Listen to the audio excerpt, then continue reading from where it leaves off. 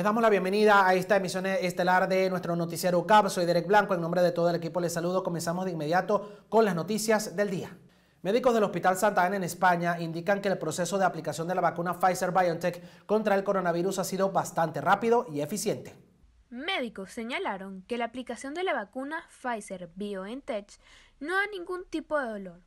Asimismo, indican que pasadas las 10 horas, el único síntoma que presentaron fue un poco de molestia en el área en donde fue aplicada la vacuna.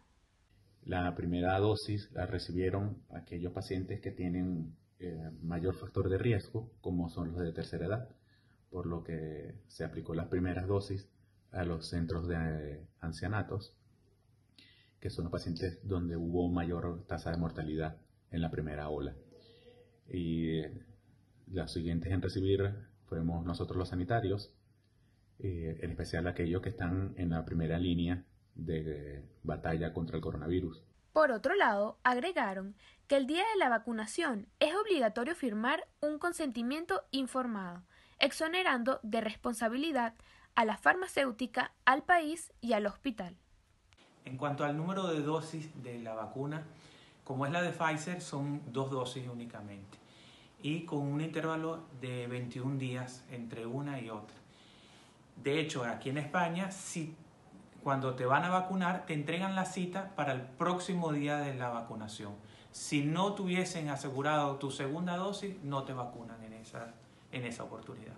Adicionalmente, expresaron que la vacuna está contraindicada a mujeres embarazadas o que estén dando lactancia materna y a aquellos pacientes que sean muy alérgicos a fármacos o alimentos. También se mencionó que algunas personas han rechazado la vacuna Pfizer BioNTech debido a que sienten que pueden tener una reacción autoinmune por ser de ARN mensajero y no de virus atenuados como las conocidas anteriormente. Paola Higuera, Noticias SUCAP. En América Latina, los casos de COVID-19 continúan en aumento, a pesar de que cada eh, vez que un país establece medidas de restricción para prevenir el contagio, se logra de alguna manera aplicar la medida. Además, salió a la luz eh, dos posibles vacunas, las cuales ya dieron inicio a su distribución en distintas partes del mundo. La vacuna contra el COVID-19 se ha dado a conocer a nivel mundial, así como también su distribución en algunos países de América Latina donde el pasado 13 de enero del presente año se presentaron 16.724.800 casos en esta parte del continente. El territorio chileno ha sido uno de los países donde ha comenzado la distribución de dichas vacunas contra el COVID-19. Además, han implementado un plan de vacunación a su personal médico en algunos hospitales, tales como el Hospital La Serena. En Chile, la vacunación contra el COVID-19 inicia el 24 de diciembre del año 2020, específicamente en la región de Santiago, siendo una enfermera de la región metropolitana la primera en recibir la vacuna en el país. Eh, y para el día 18 de enero del 2021 eh, se inicia o se implementa la vacunación en la cuarta región eh, y en la ciudad de La Serena, siendo en esta región Mientras que en Chile inició la vacunación, en otros países como Venezuela no ha llegado la vacuna contra el COVID-19. Sin embargo, ya existe un plan estipulado para su llegada y distribución en el territorio venezolano. Sin embargo, nosotros en Venezuela, la vacuna que probablemente eh, llegue, porque ya fue así anunciado hace unos días atrás, es la vacuna que está produciendo un laboratorio en Rusia llamada la Sputnik 5.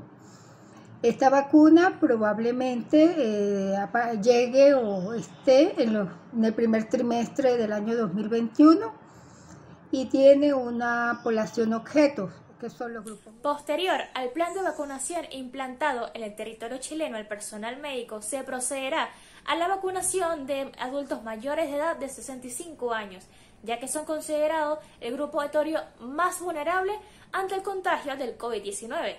Hablo para ustedes María Elvitar, Noticias UCAP. El día 24 de enero el presidente de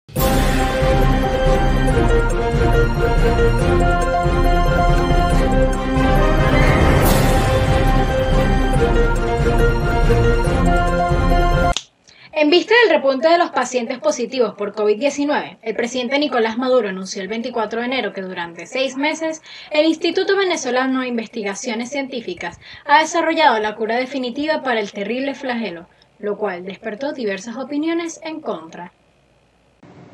La falta de información existente, lo que respecta a la medicina milagrosa de José Gregorio Hernández, realmente es preocupante, porque no puede ser que una sola persona diga que es una, una medicina para usarse y ya todos tengamos que usarla. Pues, pues no tiene que ser así, tiene que ser en base a una investigación científica o en base a que unos médicos indiquen la medicina. Se ha notado un total recelo e incertidumbre por parte de los venezolanos de la cura milagrosa para COVID-19, anunciada por el presidente Nicolás Maduro, la cual no solo será aplicada en Venezuela, sino que como un gesto de humanidad sería ofrecida a los países que los necesiten.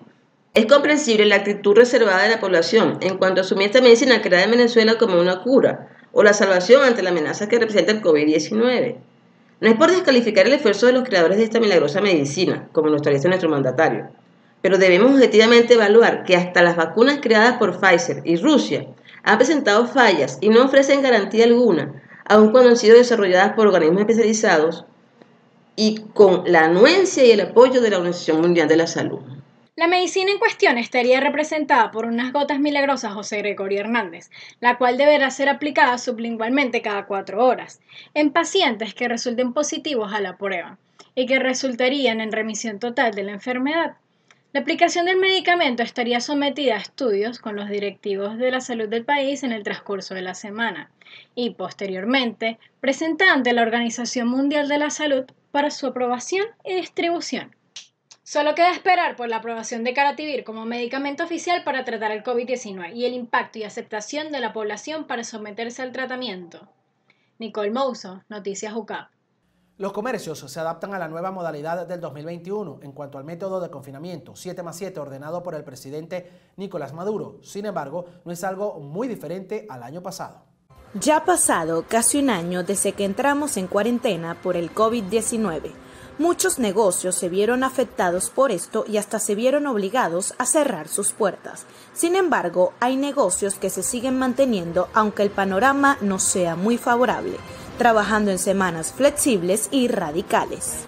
Estamos en, pandemia, sí, nuestro horario ha disminuido y estamos trabajando solamente cuando hay flexibilización, de 11 de la mañana igual, pero hasta las 4 de la tarde.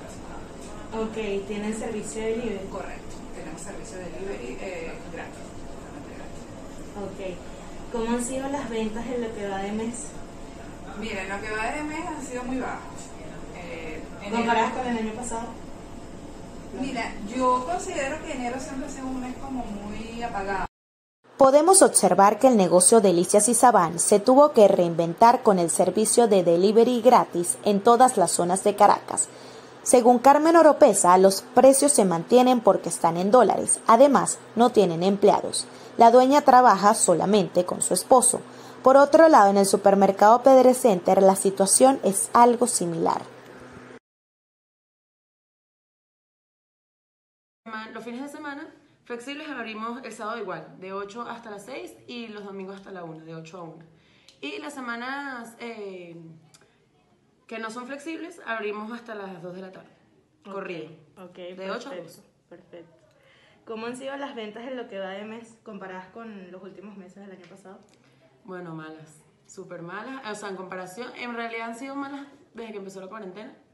Al principio de la cuarentena fueron un poco mejor porque la gente estaba como asustada, entonces compraba más comida y eso. Ahorita ya la gente está como más calmada. Okay. Y bueno, en comparación con meses anteriores, no ha sido para nada bueno.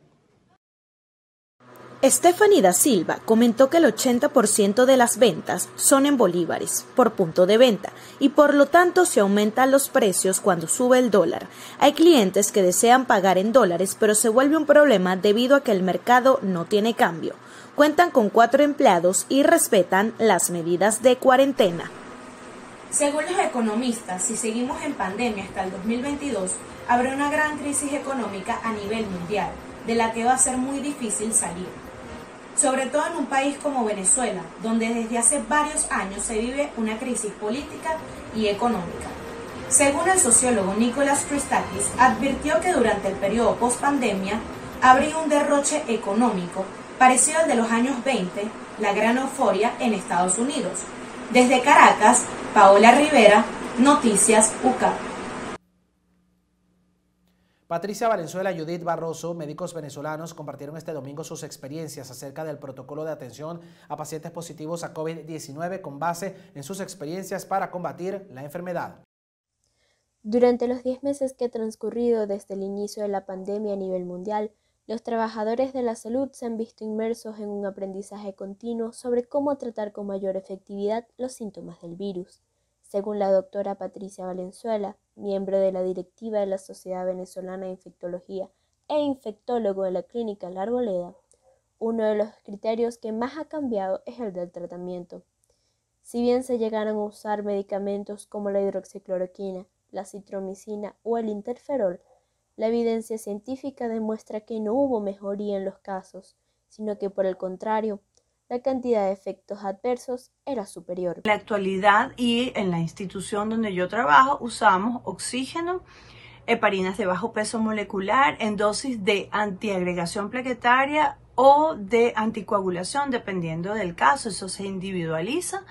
Eh, usamos también dexametasona como esteroide a dosis de 8 miligramos orden día. Con respecto a Remdesivir, está demostrado que eh, es efectivo contra SARS-CoV-2 que disminuye los días de hospitalización y disminuye los días de, de síntomas del paciente. Asimismo, se resaltó la eficacia de los distintos mecanismos para la detección de SARS-CoV-2, haciendo referencia a las pruebas rápidas como las menos aptas para los diagnósticos, gracias a la alta tasa de falsos negativos que arrojan las mismas. Por el contrario, es preferible la realización de tomografías de tórax de alta resolución, la reacción en cadena de polimerasa o la prueba de detección de antígenos. El problema de estos es que no son accesibles para toda la población, ya sea por los pocos recursos para suplir la demanda en el sector público o por los costos elevados del sector privado. La cuestión es que eh, hacer un diagnóstico en Venezuela a nivel privado no es fácil porque las PCR las hace el Estado, se procesan en higiene, pero no tienen la suficiente capacidad para hacerlo. Se procesa una mil al día y no, no hay abasto. Afortunadamente pude hacerlo, sin contar que era semana radical y había que, pasar al cabala. Fui con, con mi pareja.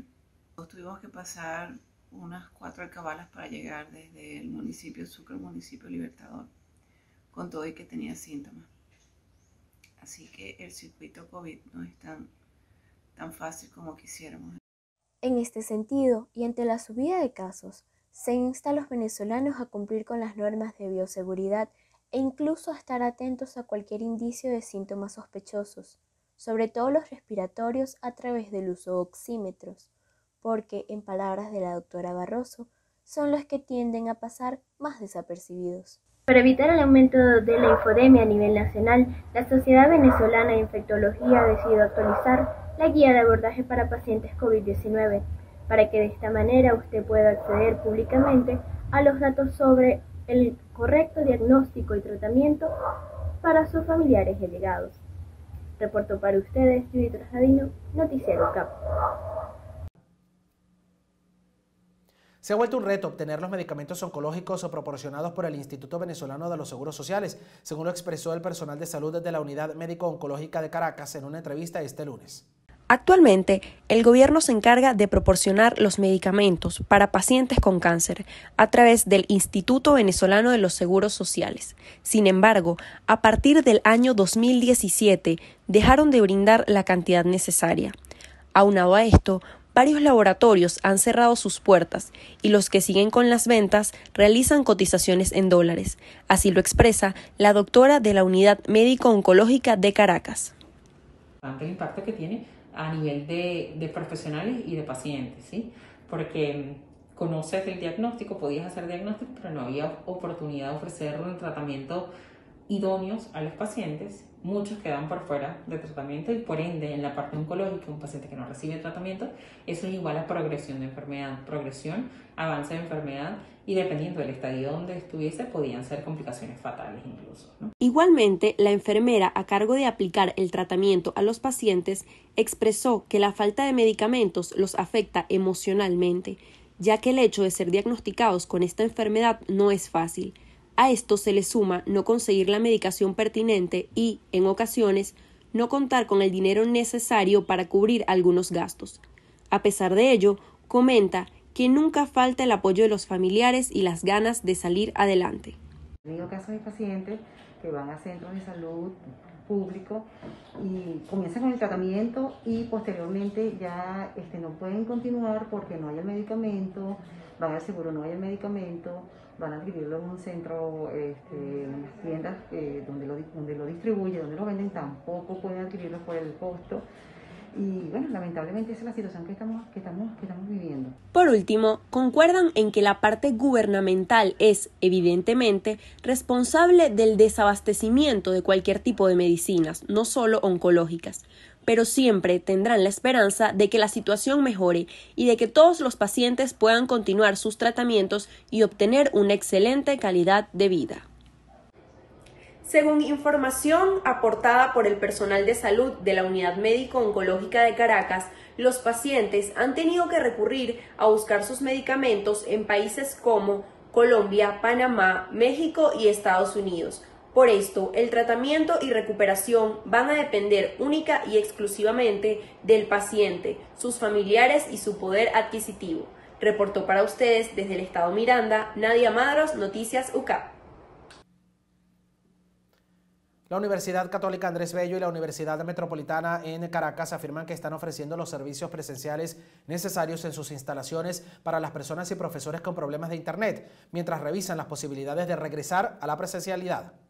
Durante la época de pandemia, las universidades privadas del país han tenido la oportunidad de continuar con sus labores de manera virtual. Para esto han confirmado que han invertido importantes sumas de dinero en sus plataformas, cursos de capacitación y otras herramientas digitales para mejorar la experiencia, tanto de los profesores como de los estudiantes. El deseo de retornar a la presencialidad. Este es el caso de los estudiantes de pregrado. En el caso de estudiantes de posgrado eh, es distinto. He estado preferir esta modalidad a la modalidad presencial.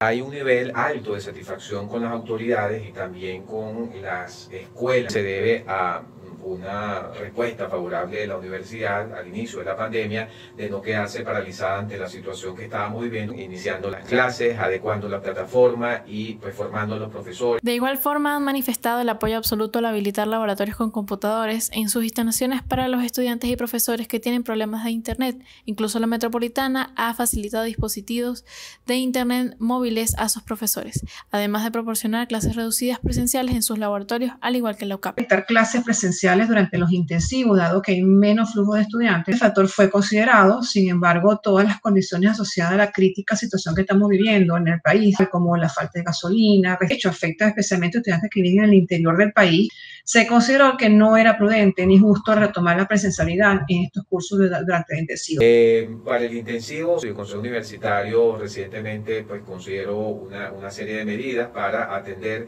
de manera semipresencial. La ocasión permite o las semanas de civilización lo permiten. A su vez, las universidades han expresado que están preparadas para volver paulatinamente a las clases presenciales siempre y cuando la situación pandémica lo permita. En definitiva, las universidades privadas han aceptado un reto que no ha sido sencillo, pero que gracias a estas adversidades los estudiantes y profesores universitarios han valorado el poder continuar con sus labores y ha hecho que estas instituciones sean más fuertes, ya que se han adaptado con éxito a las situaciones que la pandemia ha traído y así han de esperar que vuelva la presencialidad lo más pronto posible. Natalia Coronado, Noticias UCAP. Discotecas continúan abriendo en semanas de flexibilización en contra de la prohibición emitida en diciembre por Nicolás Maduro. En diciembre del año pasado, el mandatario del país decretó la prohibición de fiestas en discotecas, bares y restaurantes, luego del incremento de los casos de coronavirus. Sin embargo, los centros de entretenimiento nocturno no cerraron en su mayoría incumpliendo con lo impuesto por el presidente del país. Entonces a nosotros nos pegó de frente, chocamos de frente con el carro, ¿entiendes? Somos los número uno que nos pegó de frente. Nicolás Maduro exhortó a los venezolanos a dar cumplimiento de las medidas de protección biosanitarias en contra de este virus, y a respetar las medidas preventivas para los ciudadanos en sitios públicos y en determinados comercios. Aún así, los dueños de estos centros de entretenimiento nocturno han decidido no cumplir debido a que necesitan generar ingresos. Ha afectado mucho ya que tuve que liquidar y despedir a todos los empleados. Además, el mantenimiento de algo cerrado es el mismo. Estos centros se habían mantenido cerrados por más de 10 meses debido a la cuarentena, al no gozar de flexibilización como lo han recibido otros comercios del sector de alimentos y salubridad y al no encontrarse autorizados dentro del esquema de flexibilización anunciado por el mandatario, lo que los ha llevado a despedir a sus trabajadores para mantenerse. La situación generada a raíz de la pandemia obligó a los dueños de bares, restaurantes y discotecas a diversificarse y buscar otras formas de subsistir en el negocio, tales como la venta de comida a domicilio y de bebidas alcohólicas.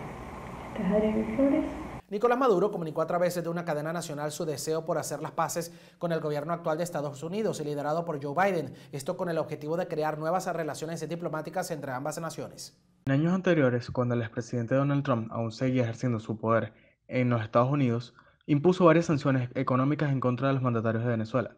Dirigentes políticos venezolanos aseguran que esa enemistad está por acabarse, ya que con la llegada de Joe Biden a la Casa Blanca, Nicolás Maduro reconoció este hecho como una ventaja en contra de las personas de extrema derecha.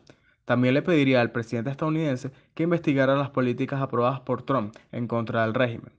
Los analistas políticos Ricardo Rojas y Carlos Molina expresaron sus opiniones sobre la, validación de dichas sanciones para mantener controlados a los dirigentes de la nación caribeña. Estas medidas lo que han hecho es afectar a los venezolanos, han incrementado la desigualdad y la pobreza y va en crecimiento también la migración de venezolanos hacia otros países buscando mejor calidad de vida. Por lo tanto, hay que exigir el levantamiento de estas medidas porque la única manera, la única manera de salir del gobierno ineficiente y corrupto de Nicolás Maduro y de todo el partido de gobierno, la única vía está establecida en la Constitución Nacional. Pues eh, no estoy de acuerdo con la eh, sanciones eh, generales porque afectan a la mayoría de la población y eh, generan, por supuesto, mucho más precariedad, mucho más pobreza, eh, mucho más problemas en, la población eh, venezolana. El gobierno venezolano de Nicolás Maduro informó que está dispuesto a realizar cualquier tipo de intervención para poder discutir sobre los tratados diplomáticos entre las dos naciones con el objetivo de borrar malos entendidos causados por las acusaciones de movimientos totalitaristas o incumplimientos de los derechos humanos ante la ciudadana. Hasta los momentos el presidente Joe Biden no ha dado declaraciones sobre el tema, ya que podría validar más sanciones de forma directa en contra de Nicolás Maduro y sus aliados. El sociólogo Carlos Molina explica su opinión del por qué Biden no invalidará las sanciones estadounidenses para no tener tratos diplomáticos con Venezuela por los momentos. Eh, también el gobierno de Joe Biden estoy seguro que va a exigir la liberación de la cantidad importante de presos políticos que existen en Venezuela y, eh, y, por esa razón no creo que vaya, como decía, a ser desaplicadas estas, estas sanciones, sino que por el contrario va a haber mucha más presión del gobierno, del gobierno norteamericano. Este, por supuesto, será un gobierno probablemente que eh, actúe de una, de una forma mucho más diplomática, que eh, ponga sobre la mesa la posibilidad del diálogo y la, y la negociación. Lo último que ha declarado Biden con respecto al tema de Venezuela es que apoya la última política realizada por Donald Trump, horas antes de entregar su mandato. Esta se basa en suspender la deportación de venezolanos por 18 meses y concederles permisos de trabajo mientras dure el tiempo acordado de la misma. Con esta información culminamos nuestra emisión de hoy. Gracias por sintonizarnos. Soy Javier Angulo, Noticias UCAP. Este lunes, la socióloga y observadora del Centro de Investigación de la Comunicación de la UCAP, Edixela Burgos, y el politólogo Luis Perrone expresaron su desacuerdo y preocupación ante la censura de los medios y las redes sociales que han aplicado al expresidente de los Estados Unidos, Donald Trump. La interrupción al mensaje que transmitía el expresidente de los Estados Unidos, Donald Trump, en noviembre del pasado año en la primera rueda de prensa que ofrecía después de las elecciones presidenciales y el recién bloqueo a sus cuentas en las redes sociales han desencadenado una serie de debates en cuanto a la forma en que las televisoras estadounidenses y las plataformas tecnológicas decidieron actuar. Para algunos especialistas, estos hechos representan un peligro para la libertad de expresión. El hecho de que las grandes cadenas más importantes en Estados Unidos hayan decidido bloquear a Trump es algo peligroso. Porque eh, es como que comenzamos a ver medios que en principio deberían ser, yo no digo neutrales, porque la neutralidad axiológica es una trampa, pero sí por lo menos mostrarte los diferentes ángulos de una noticia, de un político, del mundo, y que bueno, al final sea el propio sujeto, de acuerdo también a sus características, que asuma cómo lo va a ver o cómo va a analizar esa noticia. Lo mismo opina el politólogo y profesor de la Escuela de Comunicación Social de la UCAP, Luis Perrone. la medida tomada por los medios de comunicación y las redes sociales contra el presidente Trump representó una violación de uno de los derechos fundamentales de la democracia y de las repúblicas, como lo es la libertad de pensamiento o de expresión. Para la socióloga Disela Burgos, los argumentos expuestos por las diferentes plataformas tecnológicas para justificar la censura son cuestionables. Dice que las reglas de estas plataformas no están claras y de ser como las manifiestan, deberían ser aplicadas a todos aquellos que promuevan la violencia en estos espacios. La social es el tema álgido. Es censura, dura censura que lo queramos camuflajear con el asunto de que, por ejemplo, Twitter me quiere proteger a mí de Trump, es ridículo. Eh, me cuidas de Trump, pero todos los regímenes eh, autoritarios con crímenes de lesa humanidad, narcotraficantes, de eso no me cuidas. Entonces, por supuesto que entra el lado más irónico del asunto, porque bueno, si, si es por cuestión de justicia, deberían ser sancionados todos, pero no lo son. Entonces, la manera como opera estas lógicas mediáticas siempre son sospechosas y siempre, por supuesto, dejan entrever cuáles son los intereses que, hay detrás. Por su parte, el politólogo Luis Perrone aseveró que aunque el expresidente Donald Trump actuó irresponsablemente, la censura no resuelve el problema. Asegura que lo correcto hubiese sido anular los comentarios de las redes y esperar la decisión de la justicia. Lo correcto habría sido llevarlo a un juicio, a un juicio por, por, ese, por esa extralimitación, por esa violación de la libertad de expresión. La capacidad de cerrar los canales para la expresión de los ciudadanos está en manos de particulares que puedan tomar en cualquier momento la decisión de bloquearlos. Entonces, es preocupante para la situación de la libertad de expresión en democracias y repúblicas. Por último, expresó que los distintos medios de comunicación no deben censurar en nombre de principios y valores democráticos, ya que están yendo en contra del sistema de libertades que les permite existir. El futuro de este tema en cuanto a redes sociales es muy interesante, pues los especialistas esperan observar ¿Cómo será el comportamiento de las plataformas con el nuevo mandatario estadounidense y cuáles alternativas optará por usar el expresidente Donald Trump para comunicarse con sus seguidores? María Alejandra Gouveia, Noticias UCAT. Exfuncionarios públicos de la Fiscalía Venezolana denuncian la decadencia en los sueldos que perciben. Las trabajadoras jubiladas del sistema judicial del Ministerio Público, Adriana Martínez Santana, quien ejerció durante 22 años en la Fiscalía de Caracas hasta el 2014, y Mariusca Gabaldón Rojas, fiscal en el Estado Sucre durante 20 años hasta su reciente salida en el 2020, remarcaron que las condiciones y reformas aplicadas a la Fiscalía, aproximadamente desde el año 2001, en picada a partir del 2013, han desfavorecido el proceso óptimo de lograr de la ley, desprestigiado el valor de la profesión del abogado y obstaculizado el correcto funcionamiento del Poder Judicial Nacional, calificándolo como poco eficiente y deteriorado eh, debo decir que, que, sí, empezó un deterioro en el, en el, sistema judicial y bueno, hablando específicamente del rol que yo ocupaba dentro del Ministerio Público, eh, se perdía la independencia de actuación de los fiscales del Ministerio Público, se seguían demasiadas instrucciones, se controlaba qué fiscales iban a, a designarse y se giraban instrucciones de cómo iban a ser las actuaciones de la Fiscalía en determinados casos. Entre las razones por las cuales las abogadas identifican el haber tomado la decisión de abandonar su labor como trabajadoras públicas, destacan la falta de motivación en el ambiente de trabajo, la pérdida de la independencia en el obrar de los trabajadores por constantes controles y ordenamientos específicos en la resolución de los casos y, en síntesis, la pérdida de la posibilidad de hacer justicia.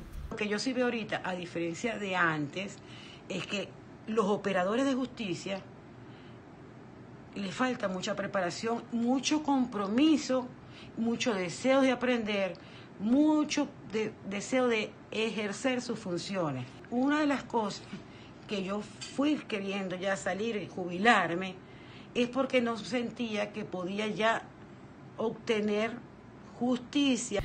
Asimismo, en contraste a lo que denotan como una involución en el sistema judicial, rescatan que un sistema guiado por humanos nunca ha sido perfecto. Sin embargo, en años pasados conformaba una institución que les permitía cubrir sus necesidades más que básicas, vivir de la justicia y cumplía de manera honorable con sus funciones, controlando así los espacios de corrupción dentro del mismo. Coinciden ambas profesionales. Es así como los profesionales de la ley denotan que el buen ejercicio de la justicia y la transparencia radican en la buena formación, remuneración y mantenimiento de los espacios. Desde Caracas, Venezuela, Valeria Ciopa para Noticias UCAP. Actualmente en Venezuela el salario de los docentes es tan escaso que necesitan entre tres y cuatro trabajos para poder cubrir los gastos básicos en sus hogares. La crisis que atraviesa el sector educativo actualmente sofoca cada vez más a los trabajadores del área en Venezuela un docente gana en promedio entre 1.84 dólares y 5 dólares al mes. Y la canasta básica alimentaria es de 250 dólares, lo que quiere decir que la mayoría no le alcanza ni para comprar tres productos de la canasta básica. El pago varía por la cantidad de horas.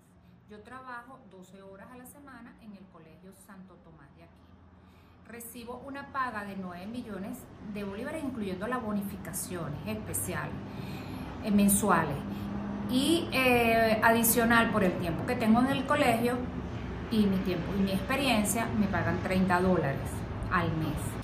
En cuanto al sueldo anual, 28 años transcurridos después, el sueldo que se percibe por dar clases es prácticamente nulo. Un ejemplo, yo ahorita estoy dando clases en la Escuela Nacional de Hacienda. Bueno, hay un tema de pandemia donde no podemos hacerlo de manera presencial, pero en las oportunidades que estuve haciéndolo bajo esa modalidad de ir a dar clases, lo que yo percibía a nivel mensual ni siquiera cubría el gasto de estacionamiento. Mientras en otros países como Brasil, Ecuador, Canadá y Luxemburgo, los sueldos de los profesores van de los 800 hasta los 8 mil dólares, en Venezuela los docentes tienen salarios de hambre que no superan los 5 dólares. Y se habla de que el salario para un docente en Venezuela debería rondar los 600 dólares con los 9 millones de bolívares solamente me da para comprar un kilo de salchicha y un kilo de queso. Y con los 30 dólares adicionales que percibo, me da para comprar harina, arroz y pasta. Tiene que existir, por supuesto, una motivación especial para hoy en día dedicarse a las labores docentes y en el caso particular mío es simplemente la intención de ayudar a personas jóvenes que se están iniciando en el campo universitario específicamente en mi alma mater que es la Escuela de Hacienda que es la que me formó, ya que si me llaman de otras universidades por lo poquito que se está percibiendo realmente no, no tomo el trabajo. Gracias a la pandemia mundial que aún seguimos atravesando, muchos profesionales del sector educativo vieron comprometidos sus sueldos ya que muchas instituciones, sobre todo públicas, dejaron de pagarle los salarios a los docentes, lo que aumentó la escasez de profesores, creando una carencia de clases de primaria y secundaria en ciertos sectores. Muchos docentes afirman tener vocación, pero que esta no está siendo suficiente porque no les está dando de comer.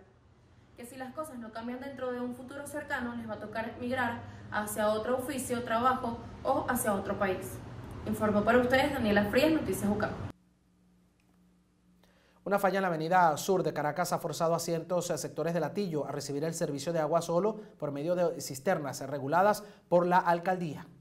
Una falla en el alimentador sur, bomba encargada de proveer el agua para el municipio de Latillo, este cuenta con una eficiencia de agua bastante grande y en algunas zonas del lugar tan solo llega el agua una vez al mes.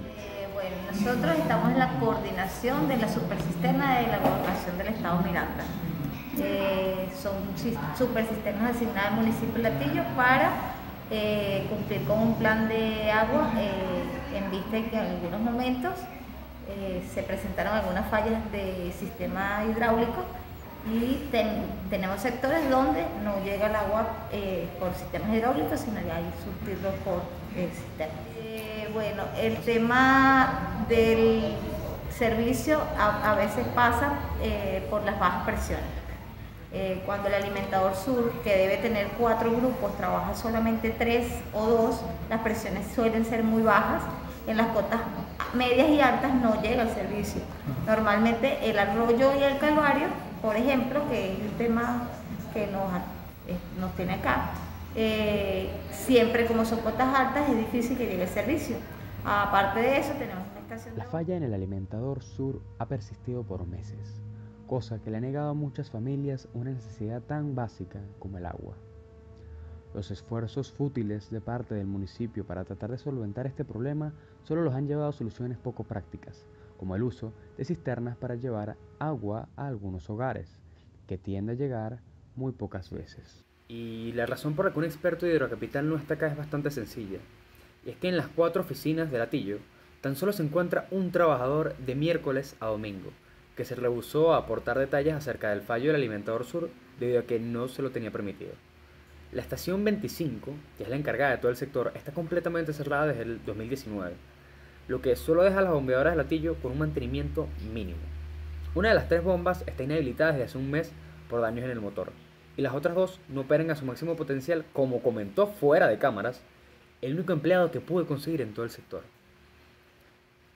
No hay que ser un experto para ver que el problema que hay en el latillo con el agua es bastante grave y esto lo evidencia de una manera increíble. Debido a esto, muchas familias se han visto obligadas a pagar cisternas por fuera del Estado. Estas tienden a ser bastante costosas y son un privilegio que solo muy pocos pueden costear. Con esto podemos ver el gran problema del agua en el municipio de Latillo, ya que gran parte de la población cuenta con un servicio que simplemente no es suficiente para satisfacer sus necesidades básicas. Gran parte de la población del municipio sigue contando con un deficiente servicio de agua y otros tan solo cuentan con un servicio por medio de cisternas, que tiende a ser muy poco regular. Y parece que tendrá que ser así por un tiempo. Carlos Vargas, Noticias Local. Este viernes 22, el metro de Caracas ha presentado más fallas de lo normal, generando descarrilamientos en la línea 2 y 3. El metro no está recibiendo el mantenimiento necesario, lo que genera constantes fallas en su sistema, han informado autoridades, afectando a los usuarios y también a los operadores, según se informó. Actualmente, debido a la pandemia del COVID-19, el Metro de Caracas, principal medio de transporte de los caraqueños, ha sufrido varias descarrilaciones y opera a una capacidad reducida. El número de percances había disminuido a lo largo de los últimos meses. Sin embargo, previo a la cuarentena, se padecía una situación crítica con el servicio, ya que el metro no cuenta con el mantenimiento correspondiente, llegando esto a poner en peligro la vida de los usuarios. Entrevistamos a Luis Villegas, operador del metro de la línea 2. Un descarrilamiento se puede dar, este, que si por un riel roto, un desgastamiento de la vía, ¿en qué nos afecta a nosotros? Eh, más que todo es el paso de los trenes por lo menos en línea 2, que estoy yo, este, por lo menos en un descargamiento en Mamera. Eso es un colapso total. ¿Por qué razón? Porque obviamente, si el tren se descarrila, obviamente no van a poder más paso de trenes. Y obviamente o sea, ya se comienza con una contingencia mayor. Porque se acumulan muchas, muchas personas, muchos usuarios, entonces es un colapso de las estaciones. Las descarrilaciones representan un gran peligro para los usuarios. El 22 de enero se descarriló un tren en la línea 2 del metro entre las estaciones Caricuao y Mamera, dejando dos heridos. Luego este viernes nuevamente se descarriló un tren en la línea 3 del sistema, cerca de la estación El Metro El Valle. Usuarios comentan que montarse en el metro es estar en zozobra, a causa de que se pueda descarrilar o quedar sin luz. También comentan que una de las razones es porque los túneles no se encuentran en las condiciones adecuadas. Entrevistamos a Beatriz Salas a ver qué opina.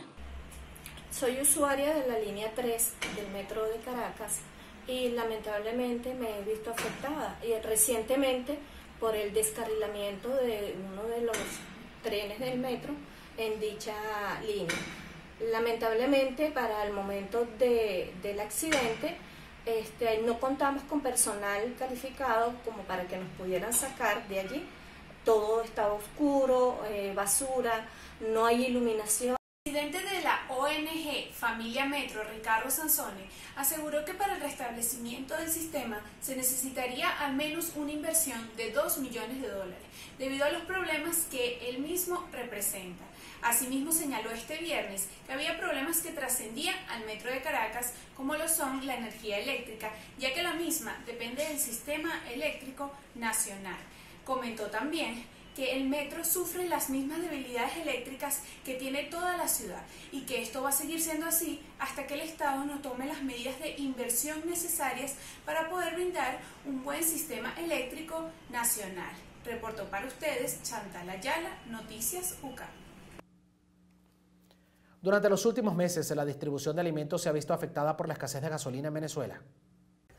Al pasar de los meses se ha alertado cada vez más sobre el riesgo en el sector alimentario a causa de la actual escasez de gasolina.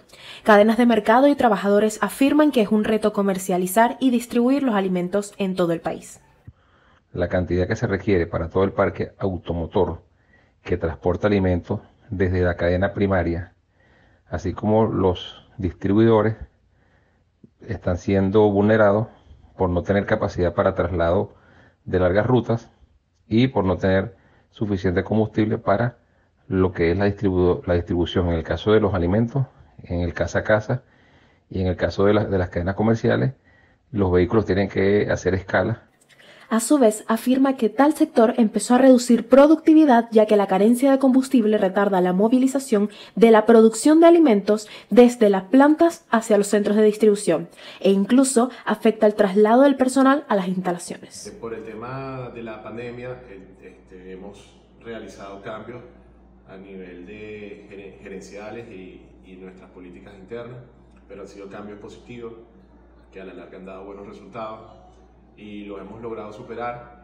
Hemos, este, hemos tenido momentos, hemos tenido días muy difíciles, pero hemos logrado superarlos gracias a que, bueno, tenemos un equipo muy bueno, un equipo de, de, hombres y mujeres que trabajan en la empresa y hemos dividido los esfuerzos para poder solventar la situación.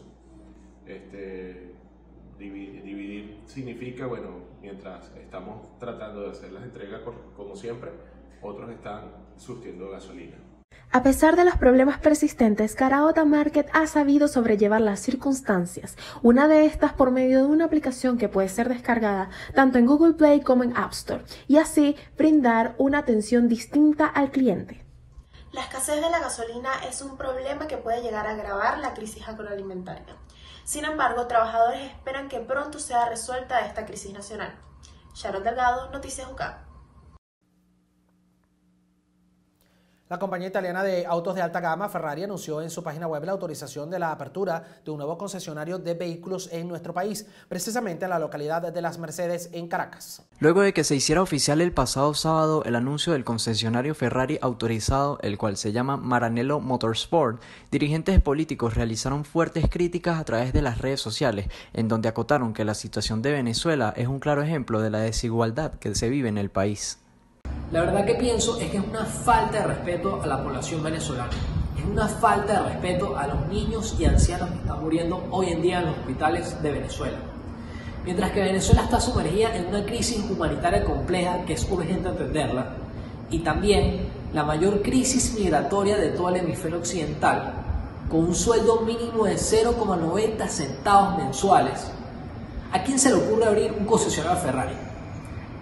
¿Dónde van a llegar esos Ferraris? ¿A quién? Y la gran pregunta es, ¿a quién le vas a pagar la vacuna de esos Ferraris cuando salgan de La Guaira a Caracas? Imagínate tú un Ferrari en la acera de las Mercedes estacionado y en esa misma acera hay venezolanos buscando e indagando comida en la basura. Esa no es la Venezuela que queremos. Los dirigentes juveniles también se hicieron notar sobre la noticia, declarando que el sueldo mínimo de un venezolano no alcanza para poder comprarse un vehículo Ferrari, afirmando que una pequeña parte de la población puede comprar uno con el dinero de todos los venezolanos. Desde hace días está circulando que en la ciudad de Caracas la marca Ferrari va a concesionario. El debate no está si se debe abrir o no se abrir ese tipo de concesionarios en la ciudad. El debate está en que más del 90% de los venezolanos no pueden acceder a este tipo de vehículos. ¿Por qué? Porque ganan miserablemente 1,5 dólares al mes. El debate está en que cuáles son esos venezolanos que con el dinero de todos los venezolanos están comprando esos Ferraris. Venezuela vive una crisis económica, social y política en donde la pobreza extrema ha aumentado en un 80% en todo el país, ocasionando que solo pocas personas tengan acceso a bienes y servicios básicos debido al bajo sueldo mínimo que se vive en el territorio nacional y que solamente un grupo reducido tenga el beneficio de poder disfrutar de estos lujos. Mientras que Venezuela enfrentaba una hiperinflación y un estado de desigualdad inaudito, desde el oficialismo no se ha reportado ningún político en referencia a la noticia del concesionario Ferrari en Venezuela. Reportó para ustedes desde el Distrito Capital, Gabriel Sanabria, Noticias UCAP. Los problemas que perjudican al medio ambiente en un país como Venezuela son muy diversos y principalmente están causados por las motocicletas a dos tiempos, ya que emiten más óxidos de nitrógeno debido al calentamiento de sus motores. Debido a la contaminación ambiental producida por las motocicletas, en especial las motos a dos tiempos, que al ofrecer un buen rendimiento en un espacio reducido emiten más oxígenos de nitrógeno por el gran calentamiento en sus motores, contaminando más el medio ambiente, Veramoto, Corporación Curizam, una empresa líder en ensamblaje, distribución y venta de motocicletas, ha querido contribuir con el medio ambiente y ser los pioneros en Venezuela en implementar motos eléctricas. Bueno, somos una empresa de tecnología de punta que venimos ya hace varios años trabajando el tema de baterías de litio, cargadores inteligentes y respondiendo a una necesidad de mercado, eh, decidimos traer nuestras motos inteligentes, siendo la primera planta ensambladora de motos eléctricas en Venezuela. Asimismo, gracias a la nueva implementación de las motos eléctricas en Venezuela, estas han traído un gran beneficio ecológico, ya que no emiten óxidos de nitrógeno, no necesitan de gasolina, solo de una batería portátil. Bueno, las motos eléctricas de verdad que tienen muchos, muchos beneficios. Entre el primero es el tema que no contamina, segundo que es una moto insonora, después que no quema combustibles fósiles, es muy práctica, las baterías son portables y nada, esto responde también a la necesidad de mercado del tema gasolina, que sabemos que en estos momentos es un tema delicado. Luego de escuchar las declaraciones del encargado del comercio exterior de Veramoto, podemos concluir que gracias a la tecnología avanzada de esta empresa y al uso de las baterías de litio y cargadores inteligentes, se pudo cumplir una necesidad existente en el mercado venezolano, las motos eléctricas. Informando para ustedes, Verónica Escotet, Noticiero UCAP. La selección nacional de Venezuela de League of Legends eh, se prepara para el próximo torneo internacional que enfrentarán el 28 de enero.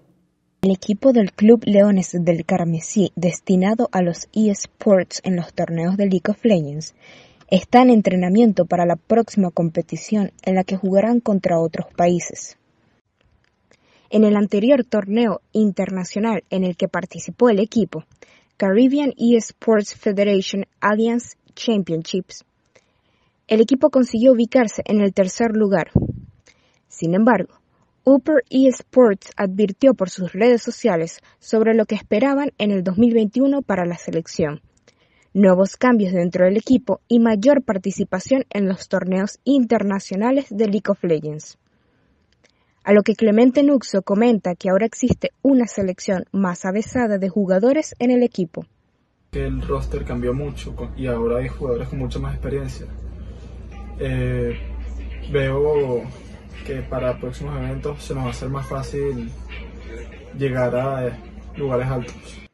Asimismo, el coach explica que por el ingreso de un nuevo jugador de jungla, el elemento de mayor dificultad en la partida será adecuar el juego al nuevo roster.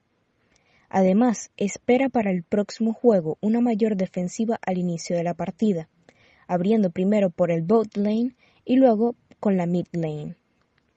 Sin lugar a dudas, uno de los principales retos que afrontaremos será la adecuación de las composiciones orientadas hacia el jungla, debido a que el jungla eh, se está agregando o se está anexando al equipo en, este en estas primeras semanas del año. Es cierto que han habido, hemos recibido algunos cambios en torno a la plantilla, pero lo que también es cierto es que hemos formalizado en el proceso de cambio en las distintas estrategias ofensivas dentro de la fase de línea. Así que esperamos que para el próximo evento presentaremos una estrategia más defensiva en los primeros minutos de partida y quizá, esperando alguna escaramuza en el juego medio, prolongaremos casi todas las partidas hasta late, late game debido al tipo de composiciones que hemos venido trabajando. El equipo conoce sus debilidades. Entienden que la formación muy reciente del club puede ser un reto frente a la sinergia de los demás equipos en Latinoamérica. Por esto, Lara explica que orientar el juego a la adaptación del jungla en el desarrollo de la partida es fundamental para conseguir la victoria. Francisco Medina, miembro de Upper eSports, marca del Club Leones del Carmesí, mencionó en una entrevista que los deportes electrónicos en Venezuela han tenido un crecimiento constante gracias a la creación de ligas competitivas. El equipo venezolano promete ser uno de los competidores latinoamericanos dentro de la disciplina de League of Legends que se mantenga en la mira del ojo internacional. Gabriela Bielma, UCAP y Sports. La consejera de Madrid ha reportado más de 2.000 atenciones en las emergencias de los hospitales de personas afectadas en la fuerte nevada que se registró a principios de año en la capital española. Durante la segunda semana de enero, la ciudad de Madrid registró un descenso de temperatura hasta llegar a los menos 12 grados centígrados y consigo una de las nevadas más fuertes en años. Mi experiencia con la nevada y con la tormenta Filomena, pues en general fue una experiencia muy linda porque ver un fenómeno natural de esa dimensión en una ciudad tan bella como Madrid, la verdad es que fue un espectáculo inmenso. Eh, con relación a los accidentes, pues sí vi varias personas resbalarse delante de mí, pero no, no en ese momento no hubo ninguna, eh, nada que lamentar importante. Pero tengo una amiga médico este, que ya tenía, tuvo que bajar emergencia porque tenía un paciente hospitalizado en esos días en emergencia y en dos horas que estuvo eh, en la emergencia vio llegar 60 eh, eh, sí, pacientes de traumatología,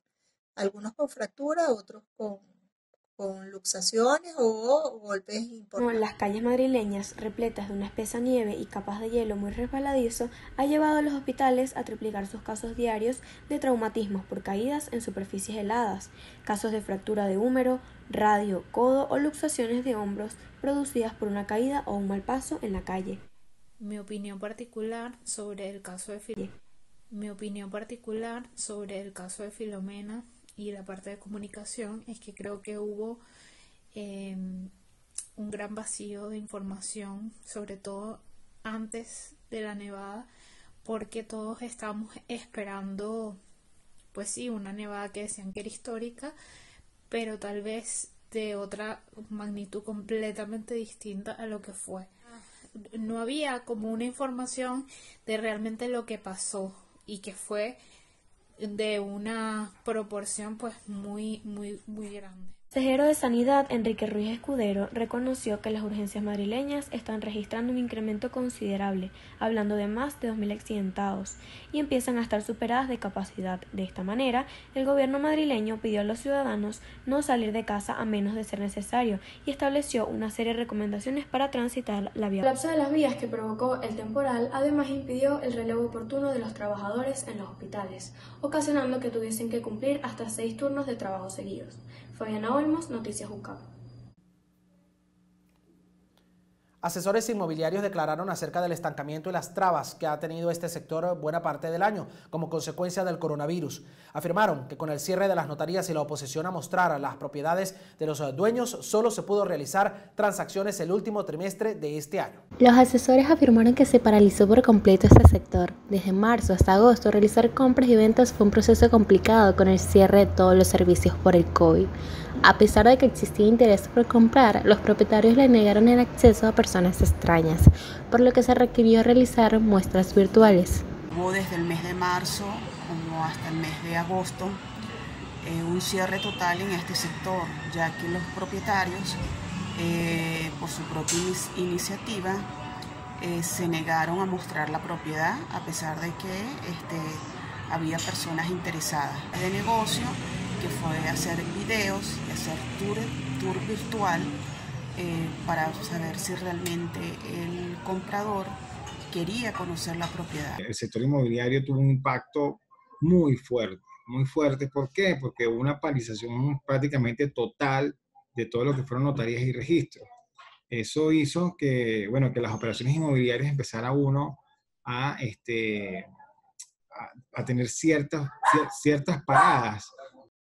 Explicaron que con las notarías y los registros cerrados se implementaron los contratos privados entre los compradores y vendedores, con el fin de realizar cierres. Sin embargo, nosotros a través de la marca, a través de la marca, este, tuvimos la suerte de que mucha gente confió en nosotros y podemos hacer, digamos, muchos documentos privados, muchos acuerdos entre las partes donde se eh, protocolizarían en los registros próximamente, eh, una vez que se habilitaran.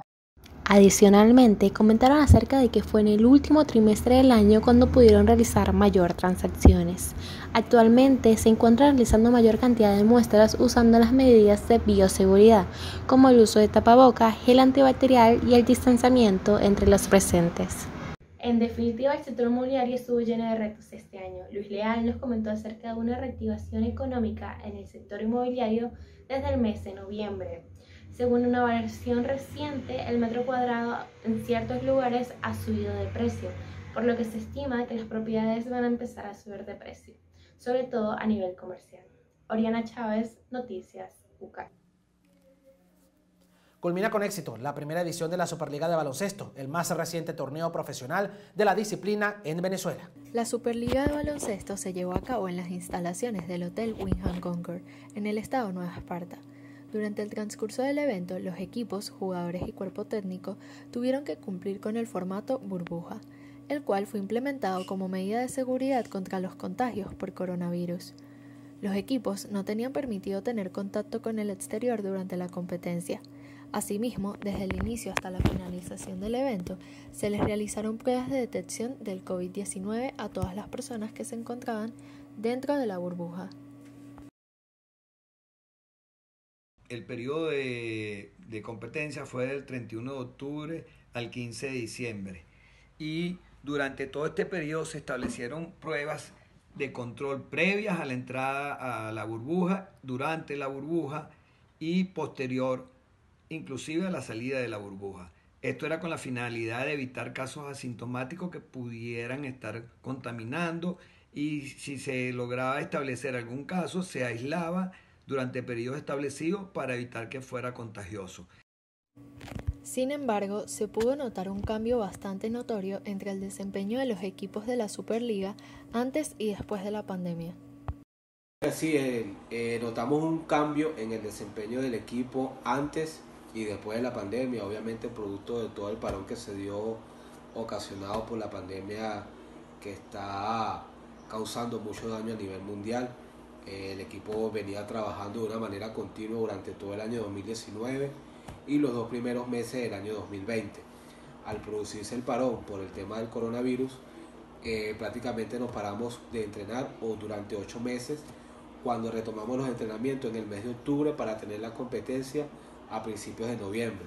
Prácticamente eh, todo el trabajo que veníamos haciendo de un año se detuvo por este tema y tuvimos que ajustarnos en 21 días para preparar el equipo y llevarlo a la burbuja en A pesar de múltiples problemas económicos y médicos que trajo consigo la pandemia mundial, luego de mucha planificación por parte del cuerpo técnico, lograron obtener increíbles resultados.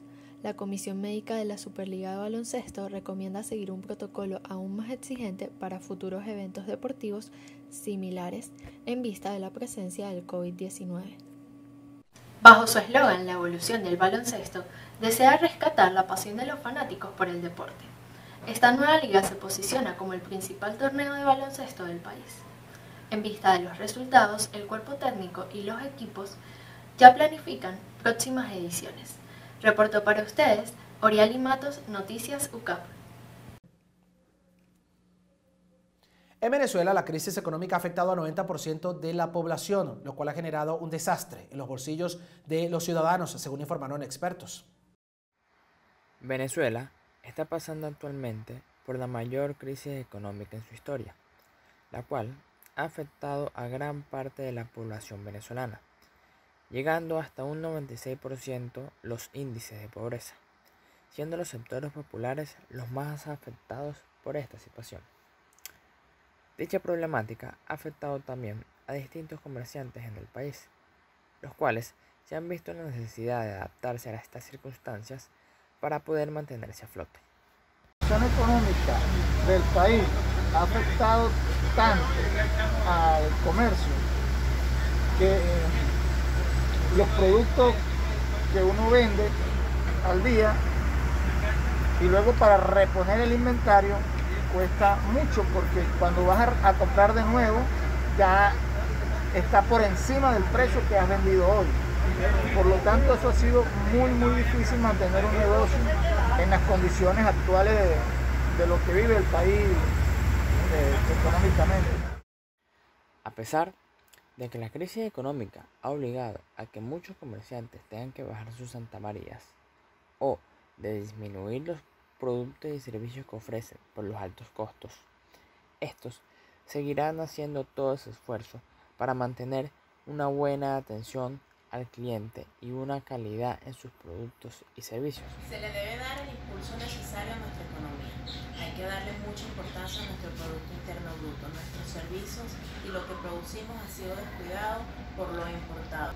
De igual modo, el tema de la hiperinflación es importante. Esto hay que disminuirla ya que ha logrado tener demasiado impacto, ha sido nuestro mayor enemigo a nivel económico otra alternativa que propongo es que el gobierno disminuya su gasto público. Es muy alto.